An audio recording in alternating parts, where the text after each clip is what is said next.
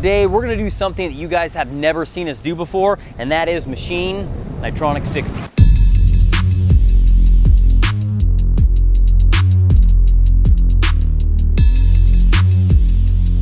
Now, Nitronic 60 has become pretty popular in the aerospace and automotive and other industries today, but it wasn't always so. It's grown in popularity.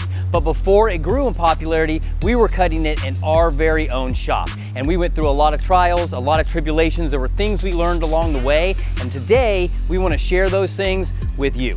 Now you may be asking, what is Nitronic 60? Well, Nitronic 60 is an austenitic stainless steel. That is one of five different types of stainless steel. Now the austenitic series is probably the most popular series. You know it as 303s, 304s, and 316s. Now Nitronic 60 is similar in composition to these stainless steels in that there's present nickel, chromium, manganese, silicone, but there's also the addition of nitrogen and carbon which give it some of its unique properties. Also, the amount of manganese and silicone that you see are at much higher levels than in these other stainless steels. Now, it's this specific composition that gives Nitronic 60 its unique characteristics. It has high strength, especially under high temperatures. It has strong corrosion resistance and one of its most sought after attributes is its resistance to galling, which galling is a tendency of stainless steels in particular to really wear down, especially in fastening applications, and get stuck to one another. And so those are just a handful of the reasons in which Nitronic 60 is an excellent choice for your stainless steel needs,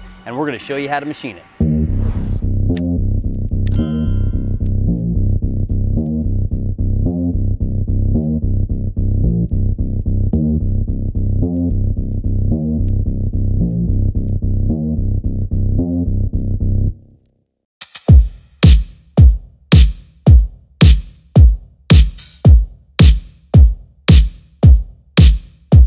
All right, so we got our bar in the machine, but we need to set where we want the bar to be when we machine the part. That is, we want enough material hanging out that when we turn everything back, we're not gonna smack into our jaws.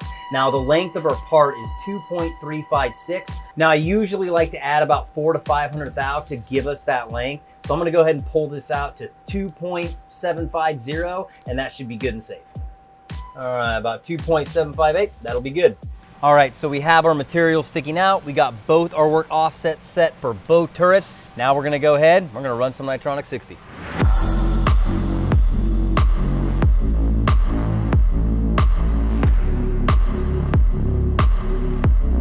Now, when we were first running Nitronic 60 a while ago, we were running it much slower than we are today. I was running about 175, 200 SFM. Well, today we're gonna be pushing these inserts a little bit harder. We're running in the 400 to 500 SFM range, so we'll see how everything holds up.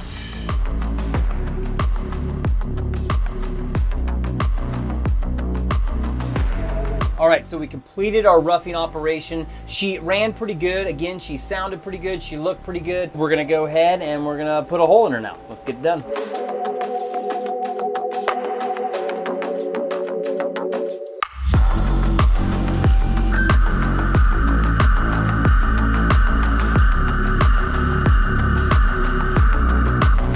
Right, so we drilled the part and we now have a 7 8 hole inside of her. I did lower the SFM for these inserts down to 350. So up next, we're gonna go ahead and finish the OD.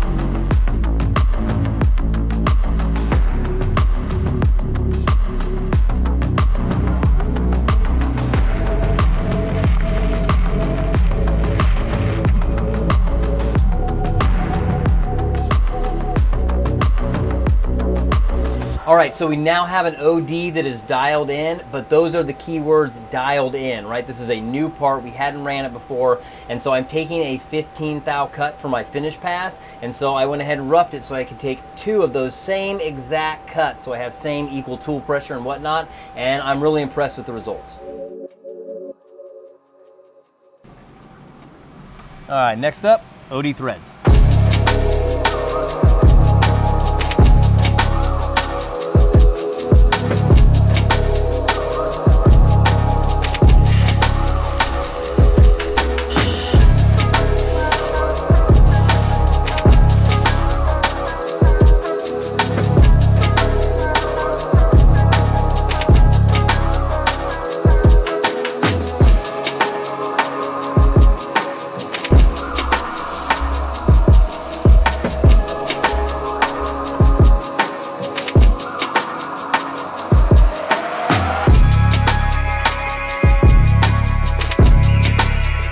Our thread has been machined and as you saw with our thread gauge here, we are good to go.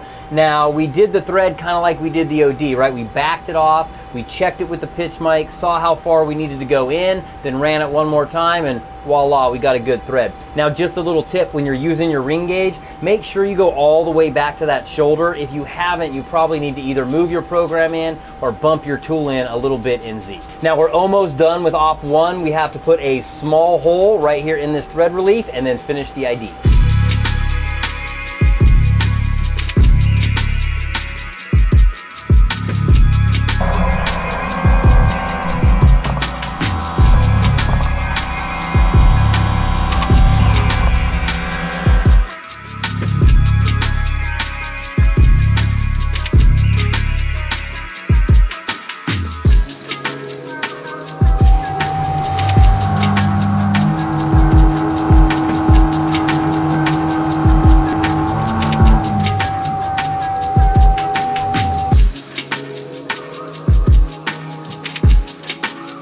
We're nearing the end of op one here. We went ahead and we put our 60 thou hole right in our thread relief and then we went ahead and bored the part out. You could probably do that in the reverse order if you like, but for me, I wanted to go ahead and drill, bore it out, and then come through with that drill one more time just to kind of hopefully knock that burr out because that burr on the ID right there can kind of be a pain sometimes. So that was my reasoning behind that. Now with that, let's go ahead and part this off and we'll get to op number two.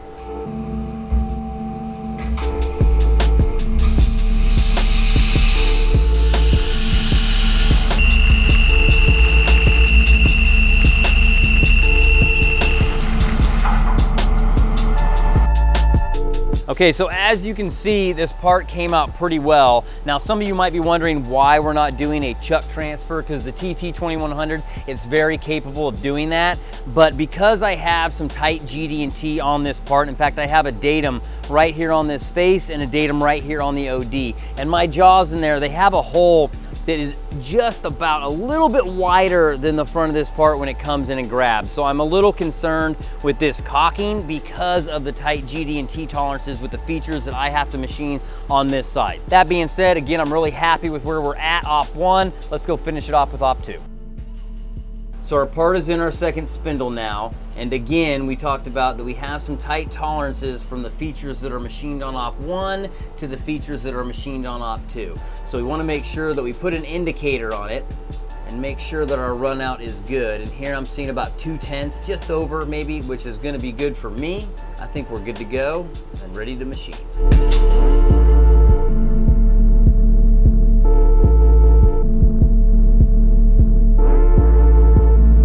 Okay, so the first thing we're gonna do on our Op2 is we're gonna rough out our ID. Now I went with a little bit smaller nose radius than you might do on a roughing operation. I went with a 15-6 nose radius.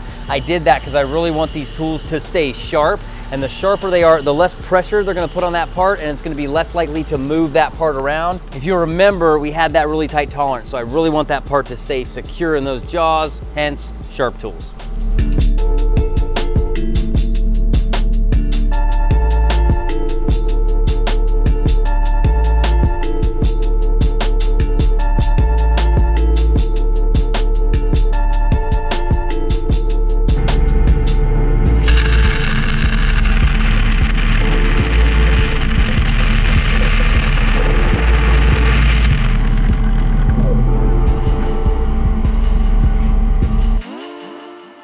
Went ahead and faced the part on op 2 and we are to size. I went ahead and only did one finish pass here because I only had 20 thou of material to take off. Now what you didn't see is I did take a little bit of a skim cut first, take this out, measure it so I could make sure I set the right amount of material to take off because my tolerance for here is only plus or minus a thou and I really wanted to make sure I hit that length. All right, so with that, let's go ahead and finish the ID.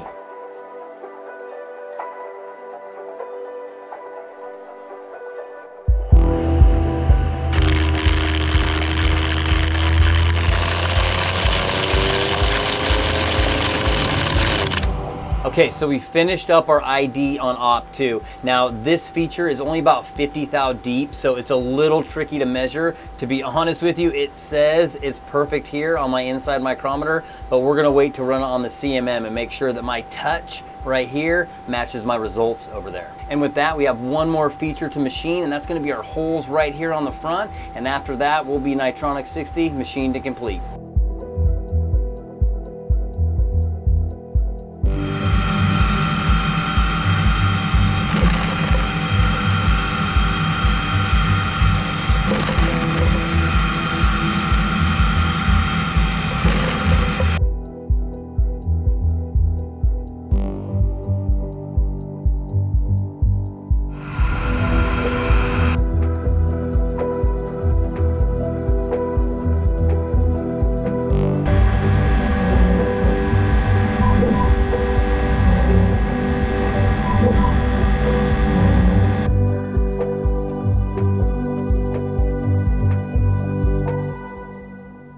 That is how you machine Nitronic 60. Now we've checked all the features we can in the machine, but we are gonna go and we're gonna use the CMM, check what we can't check, maybe look at some things that we're uncertain about, and we'll let you know how she comes out.